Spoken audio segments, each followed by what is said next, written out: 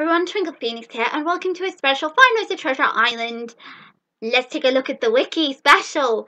We're going to look at the wiki, and I'm going to point out a couple of things that you guys are not listening to me about. First of all, I know what the wiki says about some things. And I know a few fans feel like going out of their way to shove that in my face and say, it's on the wiki, you're completely wrong, or another YouTuber has done this and that. Fair enough. Here's the thing.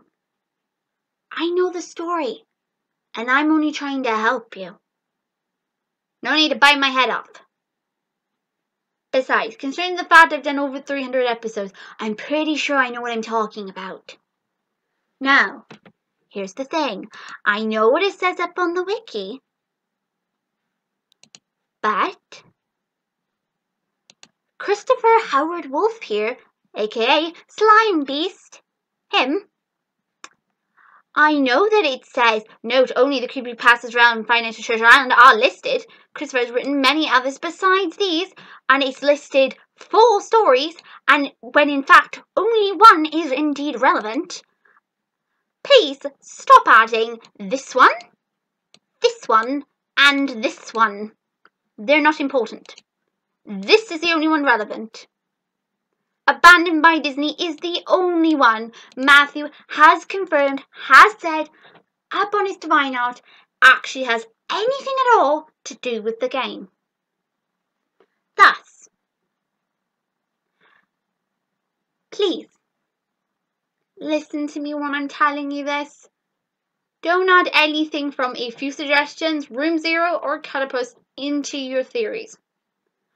I've had some rather dark theories, some interesting theories, but some theories which have just given me migraine reading them. And boy, I've had a lot of attitude from some people who think they know everything.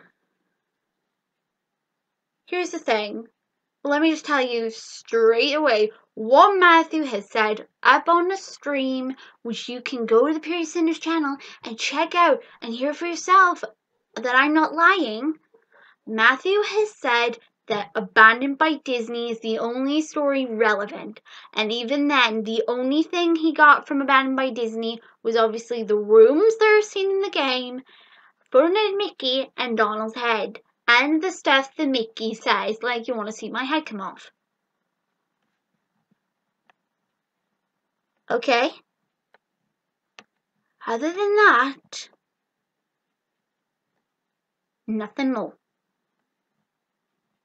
And if there were some things here as well that he did have from here, which he didn't announce up on the stream. Now, also, if you notice, the four-legged Mickey scene in the game actually looks nothing like the one seen here. The one seen here has got a it's got a big coat here. Um, he looks completely different to our one anyway. You don't need me to tell you that. This one's got trousers.